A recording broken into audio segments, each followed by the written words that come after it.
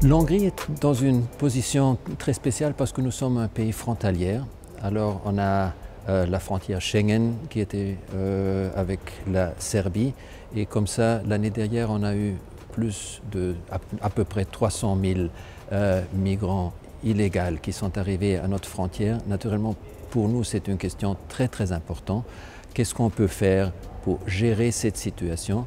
Qu'est-ce qu'on peut faire pour mieux protéger les frontières?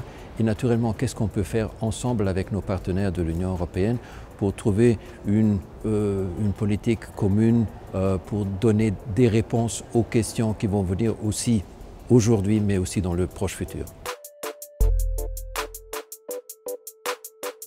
En ce qui concerne la migration, c'est une loi de l'année 2007. Naturellement, il y a déjà quelque temps dès que l'année 2007, mais euh, on a eu des situations d'urgence dans l'année 2015 quand il y avait euh, les, euh, la, grande crise migratoire et la grande migration qui, est migration qui est arrivée à nos frontières.